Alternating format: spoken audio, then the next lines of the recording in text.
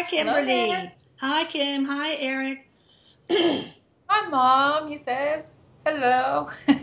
Um, gosh, you know, I've got so many things that I could talk about. Um, maybe I just let you um, let you uh, pick one of these. One is the importance of boundaries. Seems like we've covered that before. The other is what to do if you're raised by haters. I was. Another is talking about euthanasia, and uh, another one is how do we tap into zero point energy, the free, abundant, uh, it, it- you know, infinitely abundant energy. Which one do you want?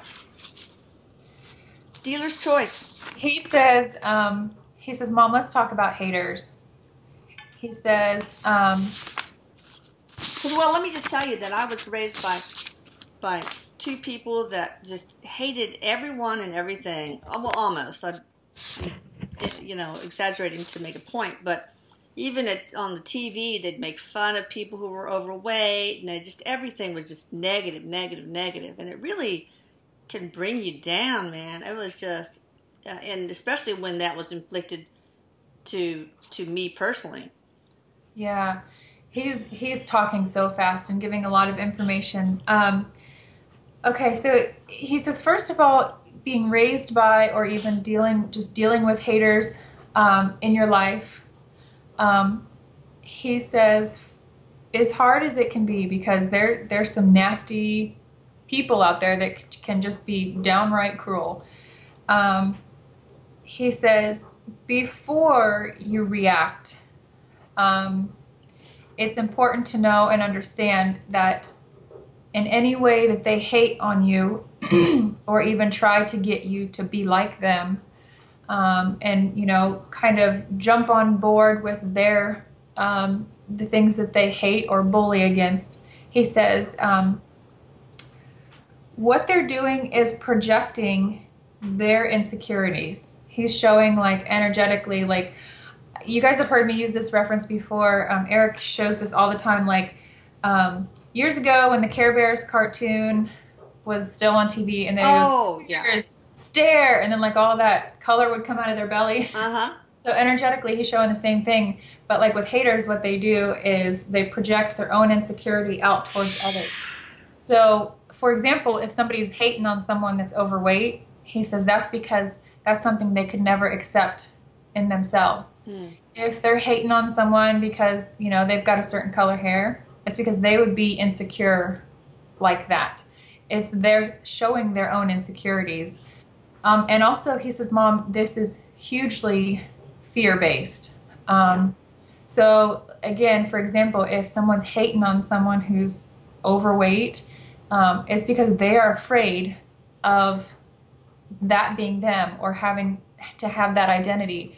So that's why they'll why they'll criticize and hate on it also too mom he says you have to when we talk about haters in any sense he says you have to acknowledge ignorance.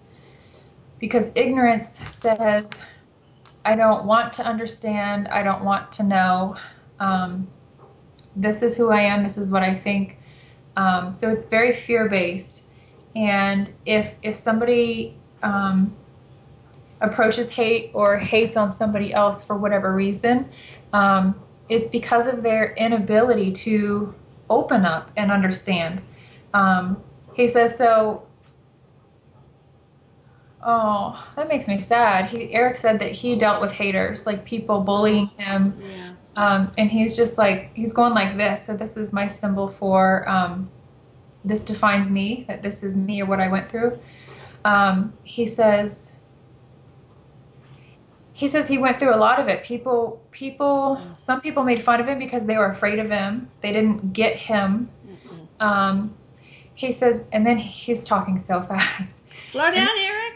yeah, he's like, and then too, you got to acknowledge their biofield. He's like, people that um, focus on their hate and and regurgitate it over and over. He said their their their energy field just gets huge because they focus on it and they share it. They put it out there so much. So that's why, if you spend time with a hater or someone who's negative, it can fuck you up. He says it gets you feeling all shitty and like, oh my gosh, like I got to get away from this person. They're so Yeah. negative. He says it's because they're they're um, and it's just the same for somebody who is in love resides in love instead of fear. He says when you truly resonate in love, that type of person's energy feels he says therapeutic. Yeah. Well, you know, it seems like the haters it's also about uh, wanting to be in power, a, a position of power and control. And it's so weird because why is it that people think that being nasty is, you know, uh, is more powerful than being loving? And loving is considered in our society sort of a weak thing by some, by many. He says, um, he says it's true, mom, and it's exactly right. He says it, it again. It comes from fear. Um, when people are nasty towards others, they have that fear, um, and you know, projecting that anger, that hate, whatever it may be, gives them a false sense of empowerment, um, of like having a foot up. He says, um, "Yeah, because you're putting yourself in a position of superiority over the person you're mo- you're putting your pushing your hate toward.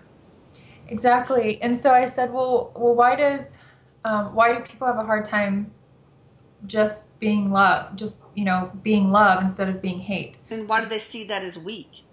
Yeah. Um, he says it all goes back to control and ego and how control feels secure um, but it's false. It's always going to be fleeting and make you feel like you got to do it again. You got to do yeah. it again.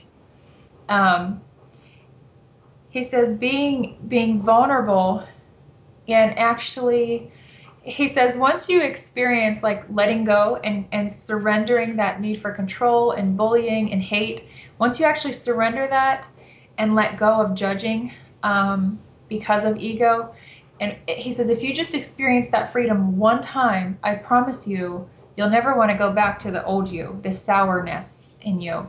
Um, so he's challenging people. He's like, I encourage you when you're about to say, look at that shitty fucking parking job, look at that, you know, he says, um, instead of just throwing out that criticism and that hate, because he says, think about it like this too, people. Doesn't matter where you are, but you just expressed negative energy. It's there, it exists now, it's yeah. in, and it can snowball and just get bigger. So, especially in a, he says, especially in a room, mom, you know, like if you just walked into a room that's empty, but two people just had a fight in that room, they're not there anymore. I was just going to ask that. You, can you feel that negative energy? Yeah, he says it, it like snowballs and it um, resonates in that area until it's cleared somehow, yeah. some way. Um, but it's the same thing. He says so. If you if you express that towards anybody, um, you're collectively contributing to the vibration of the universe. So he's like, I challenge you before you talk about um, how your neighbor, you know, your shitty neighbor does this or that. Um, Yep, they might. It sucks, but um, don't have control. Like it's that complaining is that need for control. I think they should this instead. So he says, let go of that. Um, he says he shrugs his shoulders. He's like, it is what it is. Take yeah. life a day at a time and let life happen. Um, and, and, let people be who they are. You know, that's an important mantra that a lot of haters should should uh, recite. I'm going to let that person be who they are. You know what he said? Um, this is such a beautiful example that he wants to share. Um, he says, for people that hate on, and he's just talking because this is probably the most one of the most popular ways, I guess. Um, for people that hate on somebody because they're overweight, he says, think about it like this that person may be a little overweight according to the doctors. They may be carrying a little, he says, they may be carrying a little extra junk in their trunk. But if that person is secure in who they are and can give love, what makes you more beautiful just because you don't carry that junk in your trunk? Yeah. And then he says, you're projecting your fear of not being able to handle being like that. So you have to be able to see yourself in what you're hating on because we're all connected. It is a part of you. Like True. that person you're hating on is a part of you, and vice versa. So um, yeah, we're all part and, and, and whole of of the whole of God's source. Exactly. Well, so okay. What what uh, what about love being seen as a weakness? Why is that? Anything that has to do with any facet of love, it's like, oh, you're such a sap, and you're, you know. He says um, he says it's true. Love love is still seen as a weakness if you And- allow yourself and- to be and the- vulnerable. The vulnerability behind love is Mm-hmm. what people consider weak. Yeah, he says it's changing though. It's shifting because people realize it's one, he says it's more comfortable. Two, it's easier to sustain. People are realizing, shit, it takes a lot out of me to, to feel this nasty and negative all the time. I can't stand it. So he says, um, but again, it's people feel like if they just reside in love, they let go of control and they surrender. People feel like they're surrendering surrendering personal power and that's where they get confused. Um, you're not supposed to have power over others. He says that was never intended. Um, inner power is a whole different concept, so you can maintain that. He says, but when you allow yourself to be vulnerable, let go of trying to be um, powerful over others. Um, that's the difference, Mom. That's the confusion Ah, still have personal power, um, but it is never meant to be over another. and you have more personal power when you reside in love. But then you have to worry about other people's reactions to the love that you give. He says, um, he says that's the illusion, Mom. When you surrender and let go of power over others, you do strengthen in your own personal power. So that's the illusion. People aren't quite getting it. So when they do align with their own personal power um, and reside in love, true love, he says, um, you don't question how others react because it's kind of he says it's like saying if if you know your intentions are pure um, then he kind of just cut himself off he says then it will be it will be pure so even if others mom can't accept your pure love or your vulnerability that's their insecurity that's them showing their insecurity to you Okay. um, so he's just like, he goes, I know it can seem all fucked up sometimes, but he says, we're getting it. We're getting there. I We're hope so. He says, because we're realizing how tiring it is to be nasty. I know it is. It's, don't uh, don't be haters, people. It takes way too much work, and I know you guys are all lazy bums out there. But uh, so last uh, thing I want to know is if you've been raised by haters like I have, you know that can do a lot of damage, I'm sure, to self esteem and all that. What can you do? First of all, what can you do if you've had the if you've had the onslaught of hate all your life? And how can you protect yourself if you're in that situation now if you're like a, a, you know have parents that are haters right now or in a relationship with a hater Yeah. He says, um, this is a pretty neat concept. This is when you need to ask for um, and like reconnect to your inner child, he says. Um, because if you if you stay there and connect there, it's a high vibratory place. Um, and then, you know, as you're raised by haters and maybe they say or do negative things, you ask yourself, does it feel like light or does it feel like dark? Does it feel good? Does it not feel good? Then, you know, it's up to you, he says, as far as what you will host. And and then he says too, it's all about your intentions.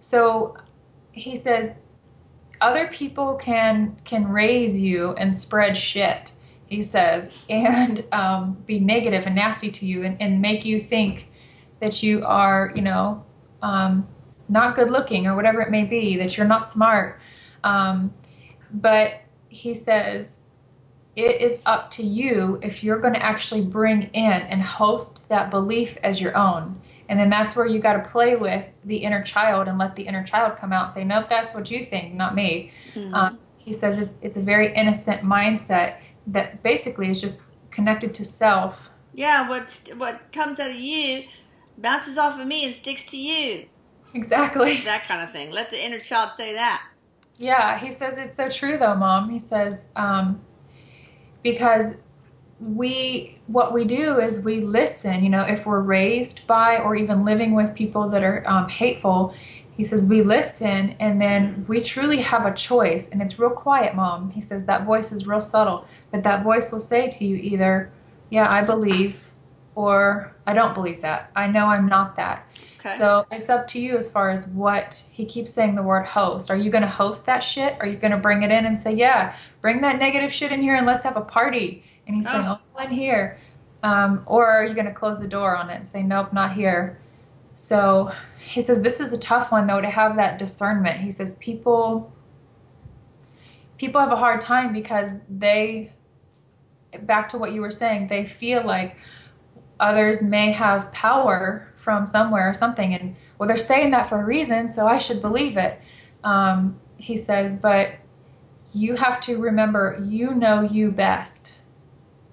Is um, there anything to say to the haters, or you just do all this inner work? he says no because if you say to the haters if you even react you are um, stepping into that pool Yeah. like negative pool he says. Um, so what you do he's kind of smiling. He says what you do in these cases when somebody's hating on you is um, instead of reacting it's kind of like it's almost like having um, pity for them because they don't even understand their own beauty Ah, their own essence of who they are. Because if they truly did mom they wouldn't say that other shit about other people he says. Um, so it's, it's actually really sad when people feel like they need to hate on others um, he says is it's- sad. And it's sad. sometimes, sometimes you can almost act like a reporter, like ob- observing their behavior, and you can you can say inwardly or, or, or outwardly, "Hmm, how odd that you should say something like that." It's like, huh, I'm I'm taking all this and observing it, and you know, reacting to it in an emotionally detached way. Or one thing I also found uh, effective is pretend like you have a plexiglass shield in front of your face, and then it's just any insult that comes out, just blink, blink, blink, just blinks off the plexiglass and falls to the ground. So those those kind of things help. he says, yeah, there's there's all sorts of um, protection that you can en- envision for yourself, um, and he's he's just kind of talking about the hater too, and like the um, he says he says always remember people, um, love is stronger than hate, and it can diffuse hate. Yeah. So if somebody gives you nasty shit, he says, um, you can, because it's like, this is what he shows me. Like, here comes a fastball of negativity, and I can catch it before it actually comes into me, and you know, just turn it around and and get surround it in love and send it back. Mhm. So right uh, to his face. Just kidding. yeah, right to his consciousness, mom. There we go. Well, thank you. That was very enlightening. Really enlightening. I really like that. I He hope says, you guys I hope so. hope and you he guys goes, enjoyed it. He's so animated today. He's like he has his arms up like this and he's like up in the right up in the camera and he's stop hating people. Yeah, don't be a hater. yeah. All right. Thank you, Kim. Thank you, My pleasure. You're welcome. He says, always, Mom, I'm here. He's blowing you kisses. I love you. He says, I love you, Mom. Bye. Bye bye.